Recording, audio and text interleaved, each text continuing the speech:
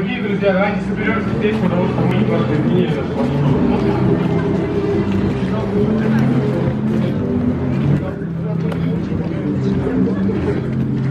Дорогие друзья, сейчас мы пройдем наверх, это будет не вход, вход будет там, там входная группа совсем не готова, так что мы а, по черному ходу пойдем, так что пойдем сейчас, мы там а, буквально просто глазками посмотрим, ножками потопаем, если какие-то будут вопросы, там их обсудим, и уже перейдем вон туда, там уже нас ждут, там уже будет веселье. Все, пойдемте.